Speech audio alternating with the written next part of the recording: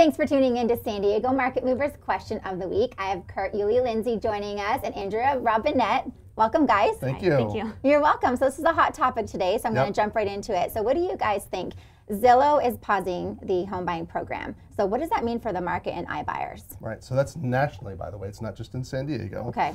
And um, a question for you. Yes. Do you think that Facebook, Instagram, TikTok have any influence on the marketplace today?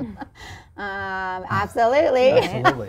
and actually, a very famous TikToker now, uh, Sean Gotcher, who's a realtor, um, he's caused a, a big eye opening in the world of Zillow. And I, there's there's talk about it possibly. Come on, explain it, Andrea. So uh, affecting the marketplace. Yeah, so basically how he described it, um, and when this was released, it went viral, this TikTok video, and he basically describes it as, which makes sense really if you think about it. So it's Zillow, and they everyone uses Zillow a Yep. lot of times, you know, to you know you're randomly sitting Search. sitting somewhere and you're just like at a doctor's office or something, you're just like randomly searching houses. Maybe you're not even actively looking for houses, but you're just doing it for fun, right? So Right. you have all of these people for all this time that they've had data that they've collected on everyone. And then your price point, what Price zip codes you're looking at. So they know like, you know, these people already live in this zip code Mm-hmm. and they can spend X amount of money and they are looking to move to this zip code or they're going to stay in this zip code. So they already have a general sense. Then they buy up however many houses in one area and then on let's say like the fifth house in that area, they price it a little bit higher.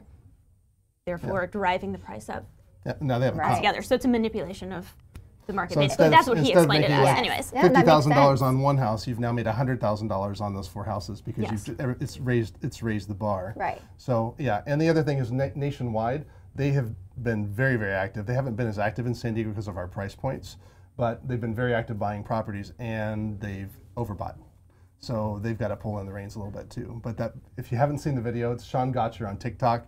Entertaining. He's really an entertaining He realtor, but it's good information. But so, yeah, I love that he's entertaining. He's gonna get Right. watched. at yeah, So, watch. right. I guess why it went Well, viral. And so yeah. it was it was interestingly enough, it just happened to be like, you know, a couple weeks or a week later and then The right after that went came. viral and then the announcement came. So Yeah. it was like, hmm, Yeah. maybe. Right. So Okay, there you have it. there you have that. Thank you so much, guys. Kurt- Absolutely. Kurt and Andrew joining us at San Diego Market Movers Question of the Week.